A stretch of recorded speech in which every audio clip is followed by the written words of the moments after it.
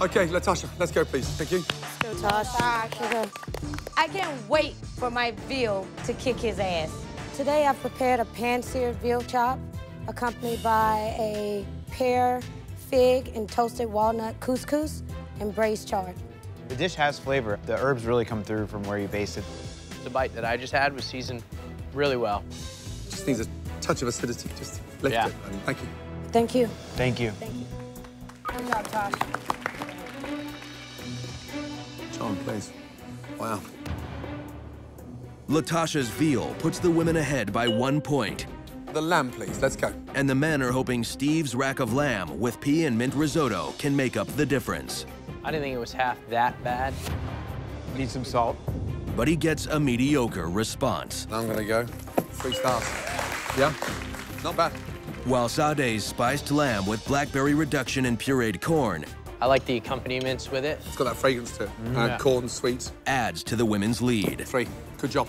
Good job, Sade. Going into the final round, the men are two points behind, It's last protein. Sterling, let's go. and they're counting on Sterling's grilled pork chop How you doing, gentlemen? How you nice doing? to meet you. I'm 100. and Southern Charm to score big. Man, I am sweating bullets to the fullest. I'm talking about AK-47, AR-15 bullets, y'all. I done prepared for y'all a grilled chop, and I glazed it with a honey chipotle glaze. The grits are great. Nice and creamy. You cook them with milk? No, with a lot of love. Oh, nice. I thought it could use a lot of salt. Salt really, really bring out all the flavors that you I put in, appreciate it. and all that love that you put in there. Just needs to be refined more. Thank you. All right, thank you. Thank, you very much. Thank Good you. job. Thank you.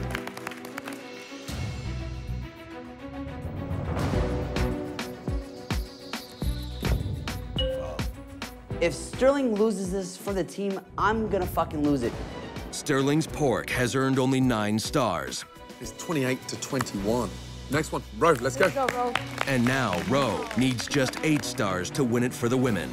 Already off the bat, I feel that I have him beat by a mile. Today I've prepared a bone-in grilled pork chop. It sits over a Brussels leaf hash. Presentation looks nice. The chop itself, you can see it's a little bit moister. Interesting. Vinny, how was that? Um, you're gonna hate me for saying this, but I thought it was kind of boring. The honey with it was actually too sweet with the apple. Are you kidding me? It looks nice, but it doesn't fucking taste good. The dish is confusing because this garnish should be with a completely different dish. It's all kind of just confused a little bit. Thank you.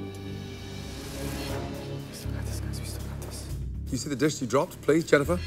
I think Jennifer's pork dish is flat. In my heart of hearts, I really liked what I put on that plate.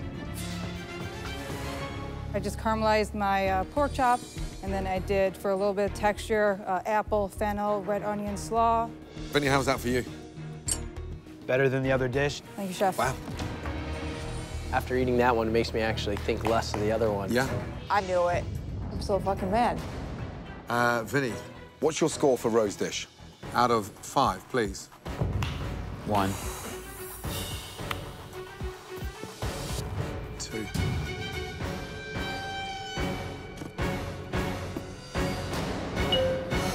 Men, congratulations.